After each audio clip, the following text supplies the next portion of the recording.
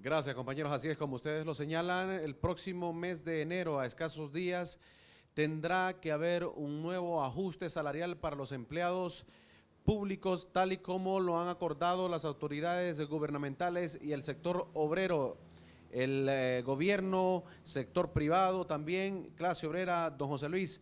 ¿De cuánto es el aumento que tendrá o el ajuste que tendrá que sufrir el salario mínimo el próximo mes de enero? Bueno, ya está ya negociado desde el año pasado los porcentajes y las cantidades que deben de ser aplicadas a partir de enero de este año, de este próximo año 2020.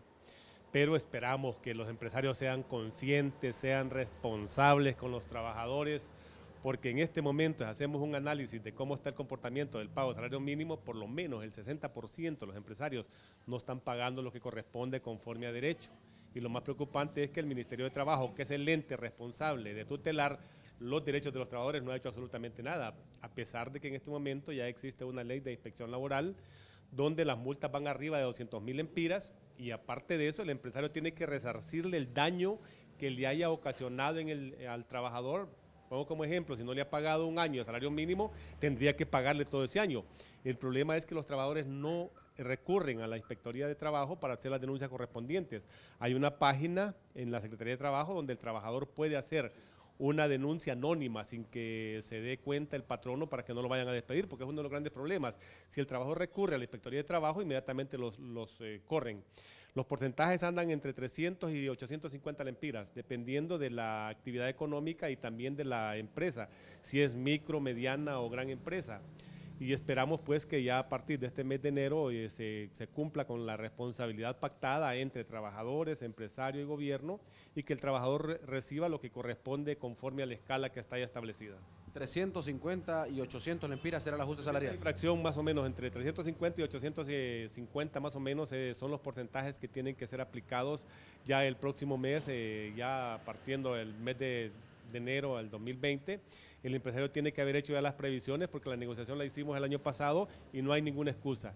Yo aquí le hago un, y reiterando ese montón de llamados que le hemos hecho a la Secretaría de Trabajo que cumpla con su responsabilidad de hacer las inspecciones de oficio para constatar en situ si el empresario está cumpliendo o no está cumpliendo, porque no es justo que unos empresarios son responsables, son honestos, son justos y otros no. Eso se vuelve una competencia desleal, porque este paga lo que corresponde conforme a derecho y el otro no paga. Entonces es una competencia desleal entre empresarios. Esperamos pues que se cumpla con la responsabilidad pactada. Ahora, este ajuste salarial eh, es de acuerdo a una escala de empleados, 350 para qué cantidad y 800 y algo para cuánto, don bueno, de, las, de las empresas que están de 1 a 11 trabajadores, de 11 a 150 y de 150, de, de 50 a 150 este, son los rangos y de 150 en adelante son los que más eh, van a llevar ese porcentaje.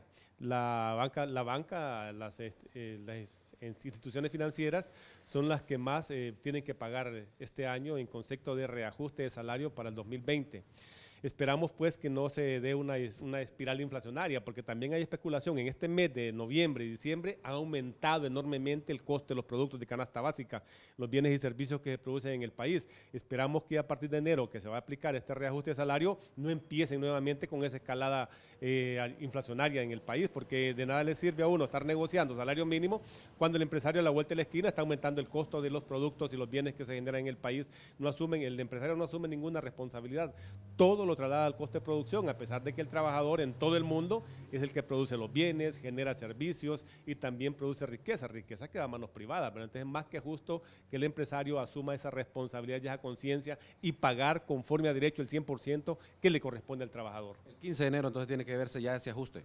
Si el, trabaja, si el empresario tiene contratado al trabajador por, por semana o por quincena, tendría que pagarla la primera semana de enero o la segunda semana de enero y al que le pagan por mes, pues ya la última semana de enero. Lo importante es que se pague lo que hemos pactado el, el año pasado. 350 y 850 lempiras. Más o menos por ahí andan los porcentajes, ¿verdad? Esperamos que esto pues le, le pueda resarcir la pérdida que el trabajador ha tenido por la inflación galopante que se da en el país. Perfecto, don José Luis Baquedano, ampliándonos eh, más detalles sobre este ajuste salarial que tiene que ser vigente el próximo mes de enero conforme a la negociación que llegaron los empresarios, los trabajadores y el sector gubernamental. Compañeros, junto a Luis Fiallo, nuestro informe, vuelvo con ustedes.